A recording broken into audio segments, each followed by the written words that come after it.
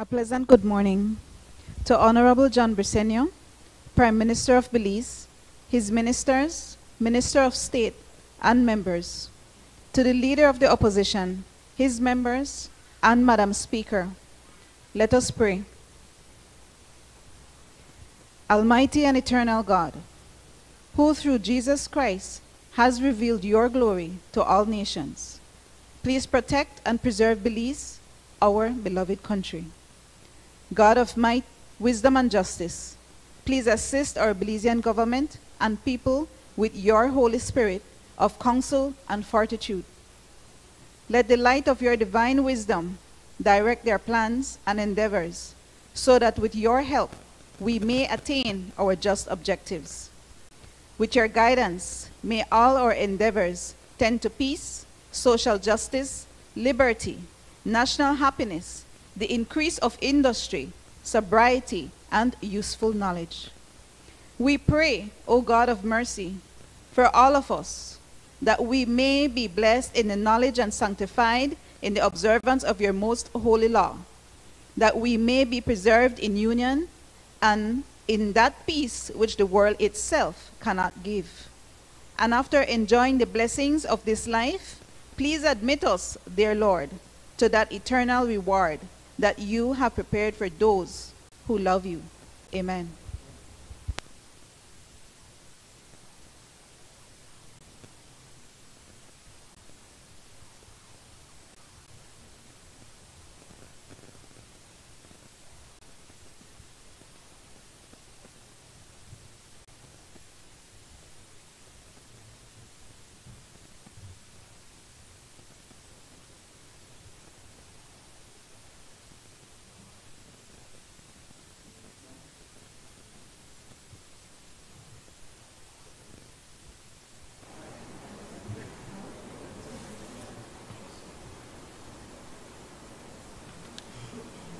Announcement, announcement by the Speaker.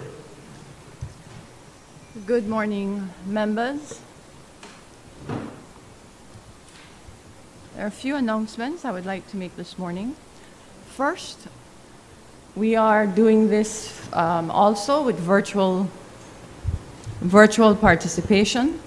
This is a first for this Parliament, uh, therefore it's a first test as live as we go. Secondly, on Monday, this coming Monday at 2 p.m., the National Assembly of Belize, presided over by the Speaker of the House and the President of the Senate, will be embarking also on another first, which is the signing of an MOU with the Belize Archives and Records Service. The purpose of that, each year, the National Assembly, since 2020, has tried to contribute to the cele celebratory month, if you will, of September, marking the independence of Belize's anniversary. This year, the National Assembly will be, for the first time, taking out the instrument of independence that was handed over in 1981 and be handing it over to the Belize Archives and Record Service for proper preservation and storage. In addition to that, they, the National Assembly of Belize has also decided that it is timely that the parliamentary records of the National Assembly be done in a more modern fashion and that it be safeguarded as well. This will also be done with the support of the Belize Records and Service Unit. On the third matter,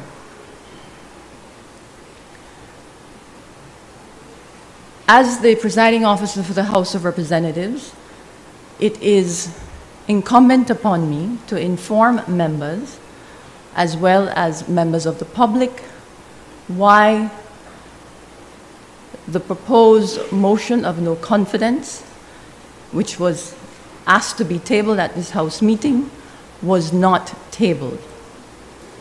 The reason for doing this during the announcement is to ensure that there is no misunderstanding on the determination that was made by the chair.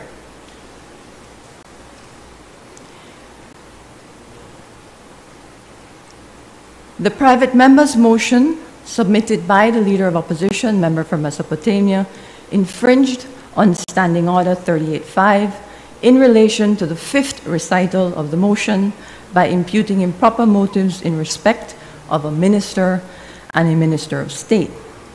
The motion also made assertions of malfeasance against the Prime Minister, a civil wrong for which no court of law has made any such pronouncement. That was stated in the ninth and tenth recitals.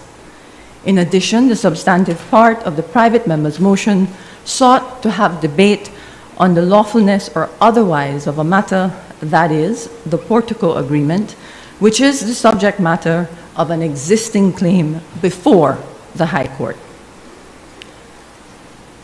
As members may be aware, on the 11th of July 2023, three companies filed a claim in which the claimants are asking the court to pronounce the lawfulness of the Portico Agreement. It is a cardinal principle of our constitutional democracy that Parliament will not engage in a debate on a subject matter which is before the courts for determination.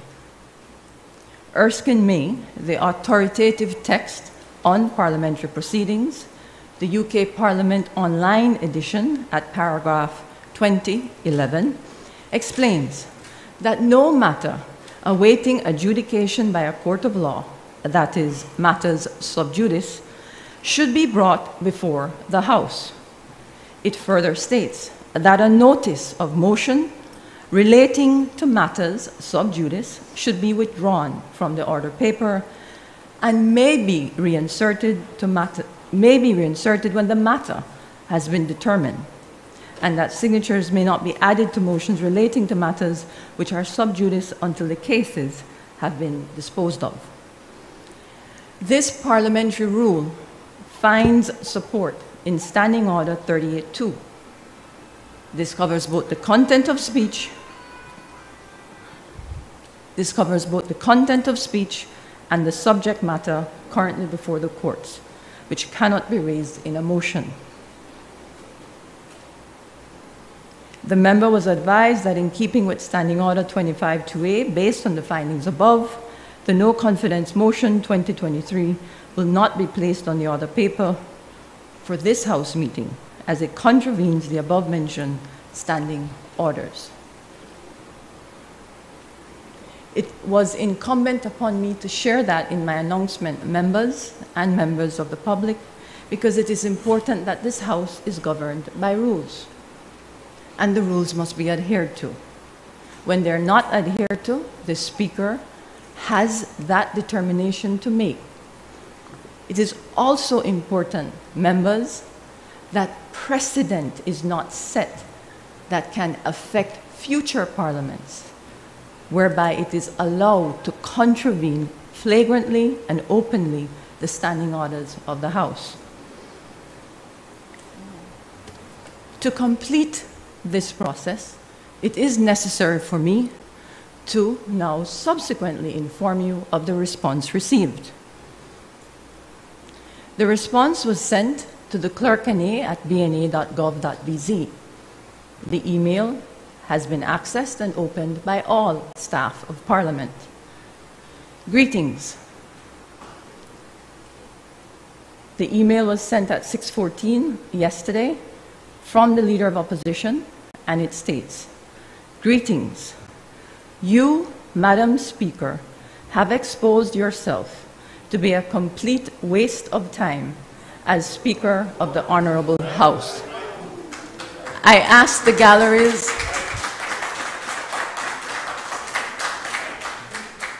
I will ask the galleries, as per Standing Order 87.4, you are to remain silent. If you do not, I will have to ask the police to do their duty and ask the galleries to be cleared.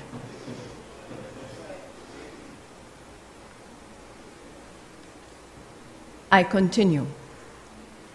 You repeatedly act as a shield for the government, shamelessly misinterpreting and misapplying the standing orders to protect the Prime Minister and his government from public scrutiny and accountability. When the UDP was in government, we were not afraid of the opposition. We allowed for no confidence motions as we are true protectors of democracy. With each erroneous ruling, you expose yourself as a complete biased speaker that will stop at nothing to protect the PUP government. I was foolish to believe a former PUP senator and candidate would be anything other than a partisan hack. Signed, Honorable Dr. Shyne Barrow, Leader of Opposition, House of Representatives, MP for Mesopotamia. Members, and I will ask those in the gallery to kindly give the respect to this House and the chair and to be silent. This is a grave matter, members. I will remind all members that this chair does not make determinations on the whim. This chair seeks the legal counsel of the Attorney General's office. As you all know, that the Parliament does not yet have its own parliamentary legal counsel. In addition to that, the chair seeks the guidance from the well experienced staff of Parliament. In addition to that, the chair looks to the precedents that have been set.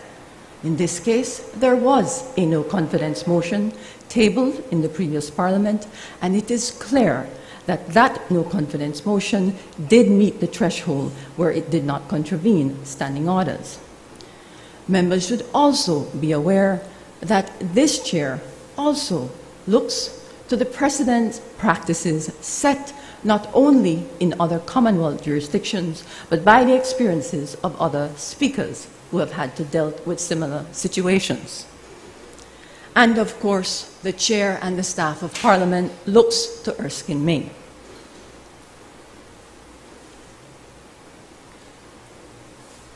I will refer to Erskine May now for the benefit of members and the public.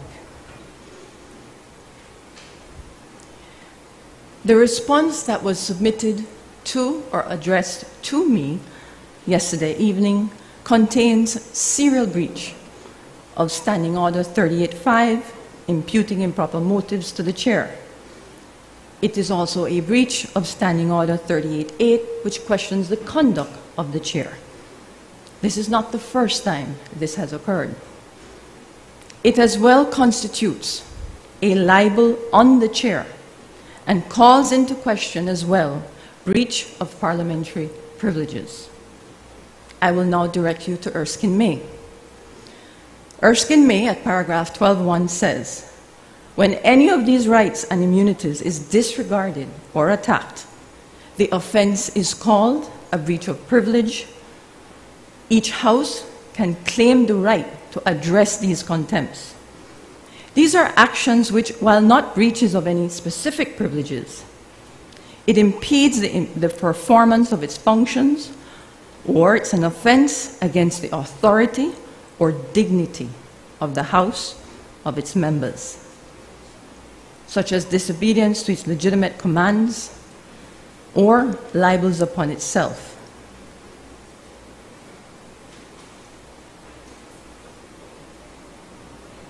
In order to address the matter properly, it really is a matter for the Privileges Committee, pursuant to the Standing Order of 74 5.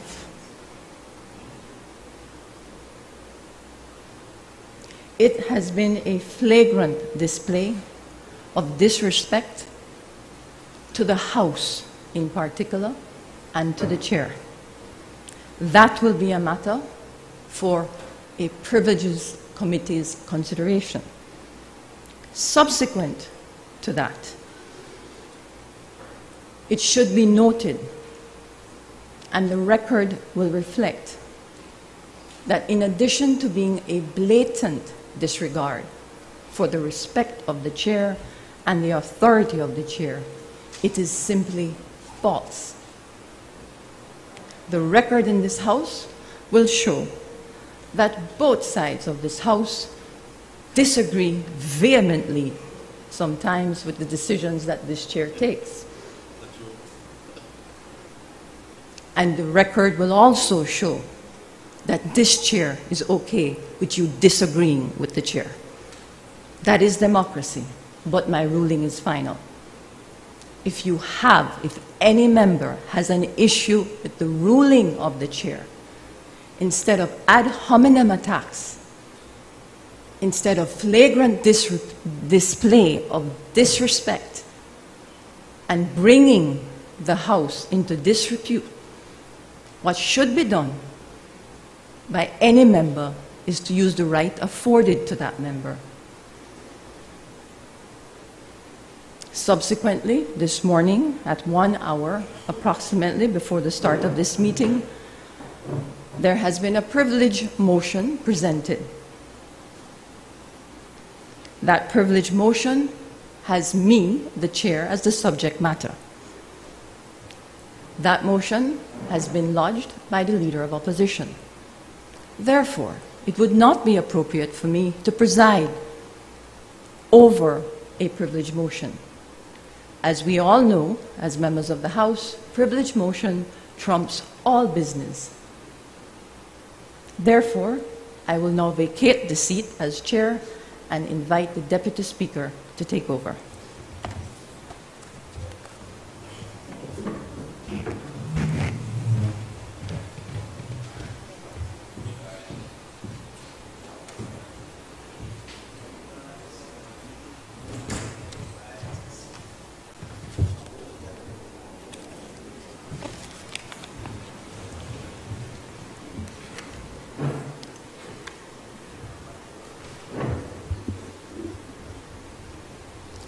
Good morning. We have a privilege motion before us. So I now call on the leader of the opposition to state briefly the facts to which he wishes to draw the attention of the House and the grounds on which he believes that those facts affect the privilege of the House. Thank you. Thank you, Mr. Speaker. Thank you. Thank you, Mr. Speaker. Pleasant good morning to you and all colleagues, wonderful people from Belmopan and Cayo, and all of my standard bearers that are in attendance from the south to Cayo to city, etc. Mr. Speaker, the privilege motion that is before us arises based on Standing Order 29, 1, 2, and 7, which allows a member to raise matters relating to privileges in the House. And the matter at hand, Mr. Speaker, is the erroneous and most regrettable decision to stop me from presenting the no confidence motion against the Prime Minister and his government at today's sitting. Mr. Speaker, unlike some of the elitists on that side, this House does not belong to the rich and powerful and the political cronies. This House belongs to the people. Mr. Speaker, And as the leader point of the order, opposition- Mr. Speaker, As the leader of the opposition, On- on I of- represent Order, Mr. 31 Speaker. constituencies, Needs- Mr. Mr. Speaker. Speaker. The- What is the leader- point of order? That, What is the um, point of order? the point of order is that at this, you, but you need to sit down You, first. I can't sit Yes, until have you to say a point of It's not order. for me to decide. What is the point of order? Mr. Speaker,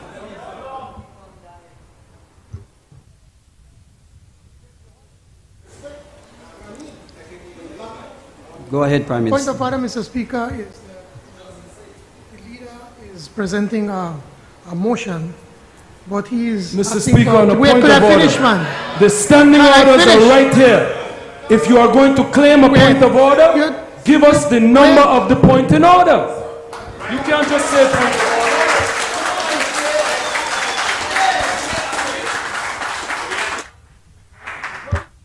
On a privilege motion, he needs to read his privilege motion on the Act for TV. He need to just read privilege motion so that we can discuss it. Not come, you up on TV right now, open no documentary.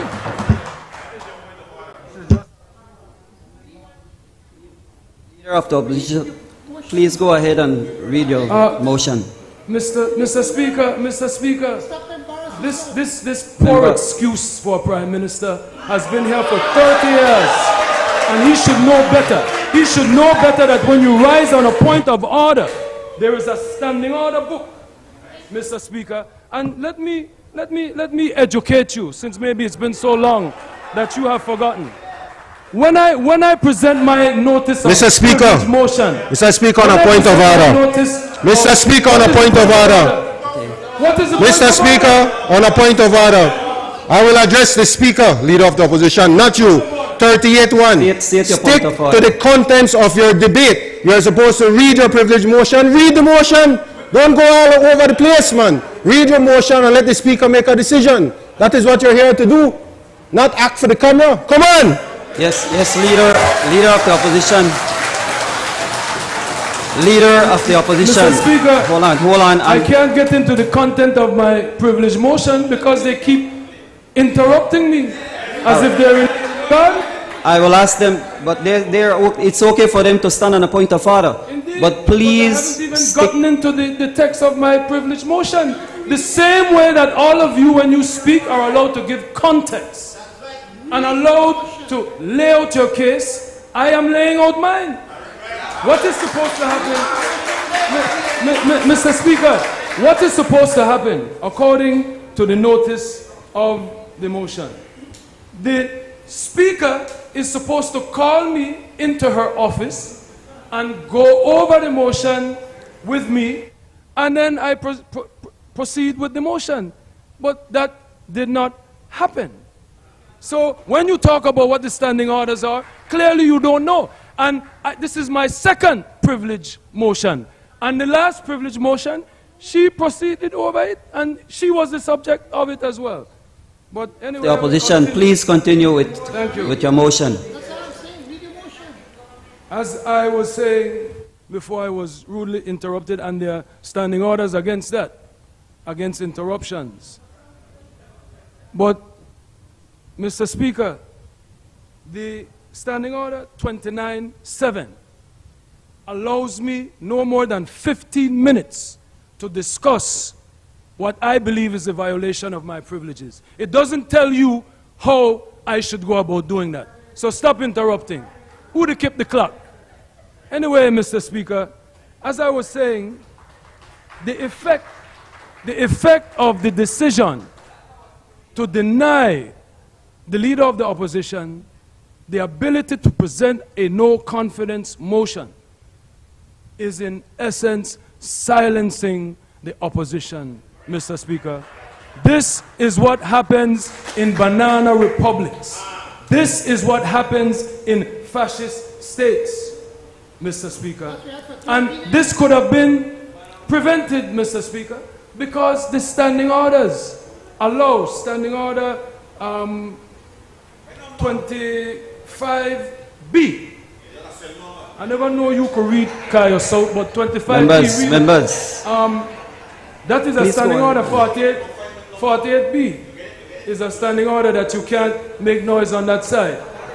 But, Mr. Speaker, Mr. Speaker, the Speaker could have altered the no confidence motion. There were minor alterations that could have been done. Because the difference between saying the Prime Minister is guilty of malfeasance and nonfeasance could have been, it is an allegation. And it is a legitimate allegation, Mr. Speaker, that is being investigated by the Senate. The majority, actually the unanimous Senate, voted to investigate this Portico agreement from its genesis with the former minister. Mr. the way to Speaker, Prime Minister's Mr. office. Speaker, on a point of So- order, on a point of order. what's your point of order? 38-1. Let the leader of the opposition know, confine his debate to the subject. He has a privilege motion. Read the motion. Read the motion. He has still not read the motion. He has still not read the motion. Go ahead and read the motion so that you can make a decision, Mr. Speaker. Point accepted. Please Mr. stick to the motion. That's how I, This is what I submitted to the Speaker, and I am allowed 15 minutes to make my arguments. But it's they out, 15 minutes out. me. They keep interrupting Please finish me. up, finish Thank up. you. Mr. Speaker, will he continue or will you make a We, ruling on this will point of allow him to finish up. Maybe he Let's- wants his 15 minutes of fame, not the way he wants for the camera, but that's all he's going to get. Point of order, Mr. Speaker, go ahead. If you would stop interrupting me, then I could finish. Show some decorum. Oh, I forgot, you're from a Garrison constituency. So you're not of the caliber, according to the member from Cayo South. But as I was saying, Mr. Speaker, we have all this talk about the House and the institution of the chair. I learned this I learned this, Mr. Speaker, on a point of Members. order 48B does not allow Member- the member from Cayo South to keep screaming from across the floor. Yes, please, please allow him to finish his, his motion, presentation. Please, you're distracting him, so... Because of time, please allow him. Please finish you. up. Thank you. So, Mr. Speaker, Mr. Speaker, you learn in the fundamentals of parliamentary study that the institution of the chair is sacred, Speaker of the House. But this is not the first time that the Speaker of the House is making these erroneous decisions. And it impacts the ability of the opposition to effectively advocate on behalf of the Belizean people, Mr. Speaker. These are not arbitrary decisions that are being made. The, the Speaker said how important the chair is and the type of prestige and the type of reverence that the chair deserves. That has to be demonstrated vice versa, Mr. Speaker. The considerations of the arguments that the members of the opposition would like to make before this honorable House. They have been earned. We were elected to be here. We were elected to speak on behalf of the Belizean people. They said the voice of the people is the voice of God. And we are their representation. So whenever, whenever, whenever we bring something to this honorable house, such as a no confidence motion, the speaker has an obligation to work with the opposition to ensure that there is not any violation of the standing orders, but at the same time that the opposition is allowed the freedom to represent the Belizean people who elected them in this honorable house. This is not a fascist state. This is not a dictatorship. This is a democracy, Mr. Speaker. And the continued misapplication and misinterpretation of the standing orders is undermining our democracy. The standing order that was cited in the Speaker's response as to uh, matters that are being litigated in the court, the standing order says that such matters should not be debated in a fashion that may prejudice them. So the Speaker could, according to the standing orders, could have altered the no confidence motion in a fashion that would have satisfied the obligations of democracy. Shutting out the opposition is anti democratic and it is fascist. Thank you, Madam Speaker. Mr. Speaker.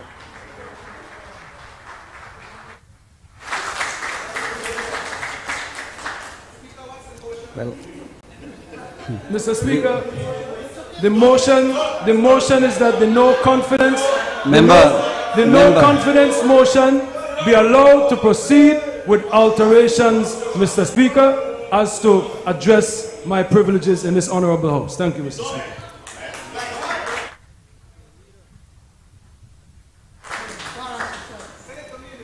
Leader of the opposition, after listening to your presentation,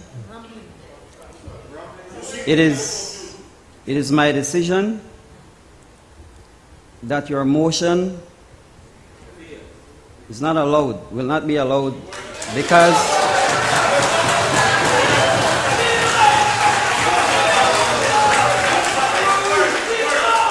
and this is simply because this is because your motion is inconsistent with the standing orders.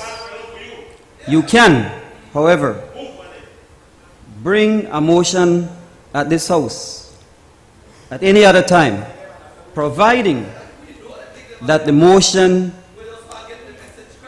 does not contravene with the standing orders. So there will be no debate today. Okay.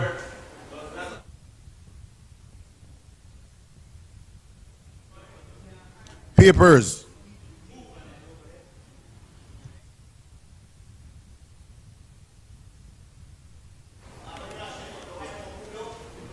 Mr. Speaker, on a point of order, a member from the gallery is threatening the chair. You need to make a decision. He cannot say that he will send somebody to move you. Mr. Speaker. The, Ms. Beera, please.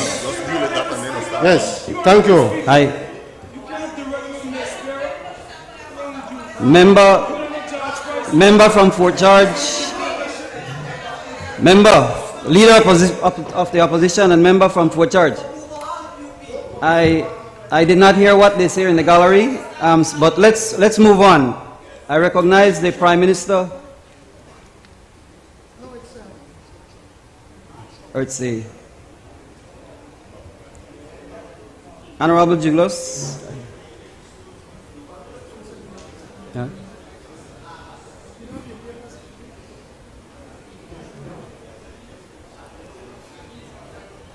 It's the Minister of Infrastructure and Development and Housing.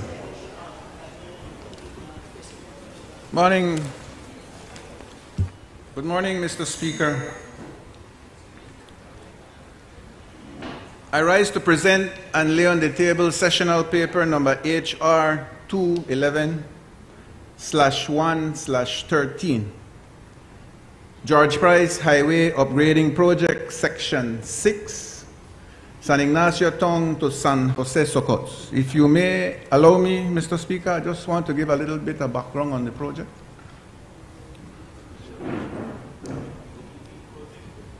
Mr. Speaker, this is the Caracol project that started from Georgeville to the intersection tripartite, and then it goes on to join to another village coming out of San Ignacio, which is San Antonio. And then it proceeds to the Pinol line, and then it proceeds all the way from the Pinol line to the Caracol archaeological site. The first phase of this project, Mr. Speaker, has been substantially completed, and the government of Belize has received a savings of $17 million.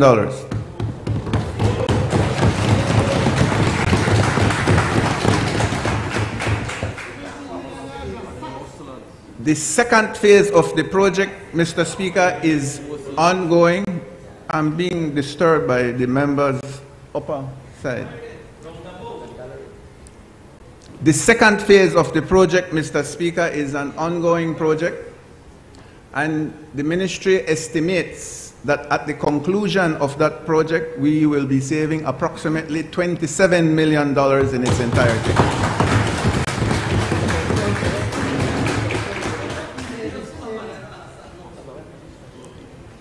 Mr. Speaker, since the People's United Party took the administration of the finances of this government, with the blessing of the Prime Minister, the technical staff, the entire staff of the MIDH has been working diligently to save the Belizean people money. One project, $27 million saved. What are we doing with the savings, Mr. Speaker? Well, with the blessing of the Prime Minister and the Ministry of Finance, we engage the lending institution, OFID. We explain to them that to complete the George Price project, which started from the Roaring Creek Bridge, right now presently reached the entrance of San Ignacio, that we would like to continue the project from San Ignacio to Benqueviejo. OFID gave us no objection. We put the project out to tender. The tender was won by a company called Belize Roadway Construction for a value of $26 million, se- $26 million, $709,000, 339 and 38 which is a bit below the 27 million that we estimate will be the savings. MIDH, the cabinet, the government of Belize, the prime minister of this country,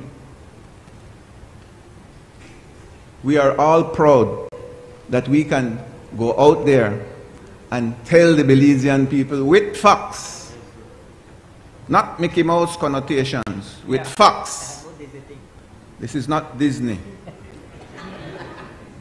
that we are doing a road that will not cost the Belizean people a cent extra.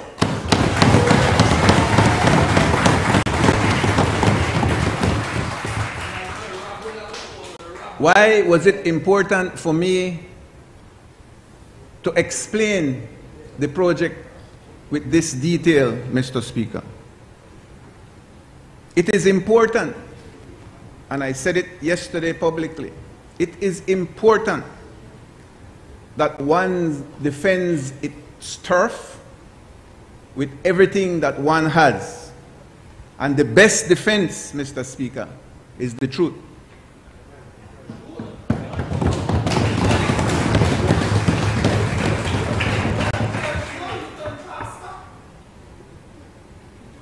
Mr. Speaker, this is a clear example. On a point of order, Mr. Speaker, I would like to refer uh, your attention, Mr. Speaker, to Standing Order 87 that deals with the matter of strangers, the house.